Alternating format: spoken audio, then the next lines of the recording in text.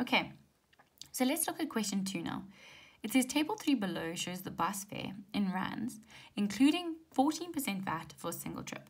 Now I've made a note here for this um, paper, VAT was 14%, but now in 2022, VAT is 15%, and you're expected to know that. So please, when you're making your notes for Maths Lit, make a note of that because that is expected, okay, as like almost assumed knowledge. So over here, how we read this is it's saying, well, PE to Grahamstown costs me 305 Rand. Now, you could be saying, well, why is it all these blanks? Well, we don't go from PE to PE. We don't pay money to go where we are, right? So be careful about understanding this. So over here, going from King's Williams, King Williamstown to PE would be 320. So that's how you read this. I'll read it more as we answer the questions. So it says here, write down the second highest bus fare for a single trip between the two cities. So if you just look, and this takes a bit of practice, but if you look over this, the most expensive is 515, and then the second most expensive is 465, which would be Welkom, right?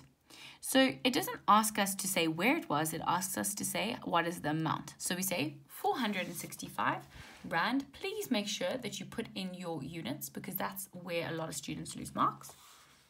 So not a difficult thing, just asking us to read. Then it says, between which two cities is the single bus fare 350 Rand? Okay, so let's look here. 350 Rand, Queenstown and King Williamstown, right?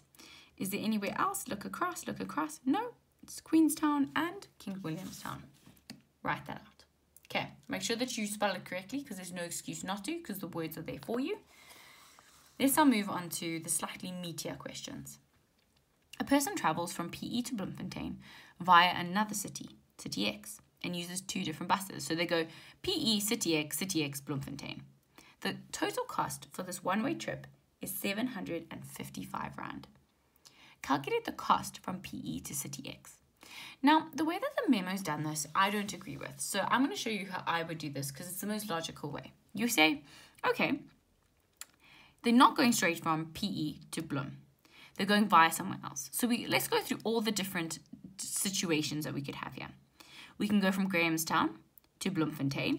And if I add those together, that's 740. So we know that it's not that one because it has to add up to 755. Add these two together, 755. So we know it can be that. Add these ones together, this is 805. Can't be that one, too expensive. This one from um, Aliwal North, right?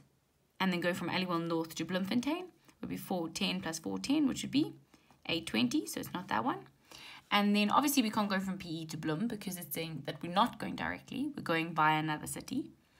Then we have Welkom, um, so you can go PE Welkom and then Welkom Bloem, and that is 850 Rand. Okay, so it's not that. So the only city it can be is King Williamstown.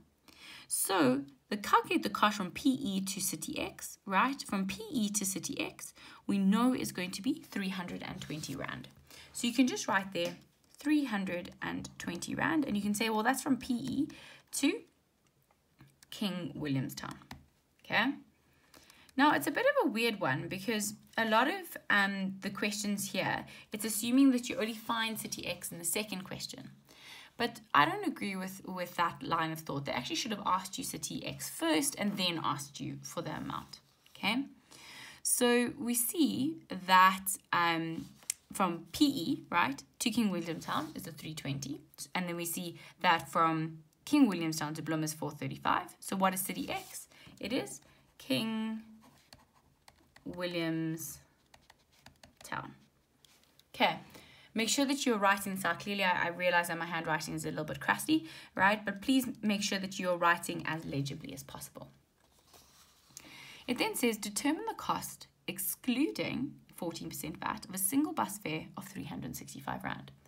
Now, please remember when you're including and excluding VAT, there's different operations. When you're including, right, when you're including, you times by 1.15 in our case. In this case, it's 14 because it's outdated. If you're excluding, you divide by 1.15. Okay, because we're excluding, we're going to divide by 114. Okay, so we're going to put that in. we're going to say 365 divided by 1.14. Just literally put that into your calculator. 365 divided by 1.14 and it gives you 320.18. Please remember when you're doing these questions, you must always round off when it comes to money to two decimal places. And that's your answer there. Okay. We have one more question for this video and then I will do the latter half of this question, this broader question. Okay, so that's that done. Please remember your units as always. Um, let's now look at the last question. Lindiwe travels from Queenstown to Bloemfontein and back once a month. Calculate her total uh, return traveling cost for one year. How many months in a year? 12 months. Okay, so let's do one month first. Okay, so one month is going to be, where does it say? Queenstown to Bloemfontein, right? So it's 410. So you say 410, but it's return, hey? Because remember said and back. So that's times by two, so that's 820 per month, okay? But they didn't ask it for per month, they ask it for a year. So you say 820 times by 12. Put that in your calculator, 820 times by 12. And your total cost there is 9,840 for one year, right?